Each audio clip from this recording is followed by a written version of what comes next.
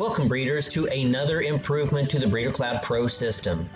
We listen to you guys, and today we have built contracts. So, everybody does contracts with their puppies, and be able to do this and streamline it, make it easy. We now have a section where you can actually send contracts. You can see the status if they were signed or whatever. So, here we go. Let's create one. By default, this is how it begins. If you want to type your own contract, come down here and add your text, copy, paste, whatever, but for today's tutorial, we are going to select the basic puppy contract.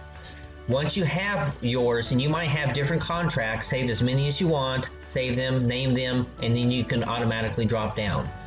Let's say that you wanted to add a purchase price or you wanted to get rid of the microchip. It's just that easy as adding fields. The purchase price, let's go ahead and put 1500 here. The set, let's go ahead and sell this as full rights and you can add the sex and it will pull the information from the puppy for that. So let's select a contract, uh, a contact and let's select a puppy. Aston is the lucky puppy today. Now what we're going to want to do, as you can see, it's sending it and this pre-populates with the information that it pulled from the contact. So let's go ahead and send this bad boy. You bet. Now what the user is going to see is drop down here into their email. Oh, here's their email. It comes in here and says that you have a contract to sign from Breeder Cloud Pro, please sign this with your six digit code below. And let's go ahead and grab this code. Let's go to sign it.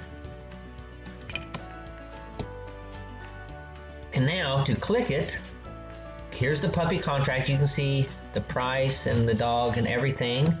Click to sign and the user will say, here, they are going to submit the signature. There it is. And then to complete it, they just click complete.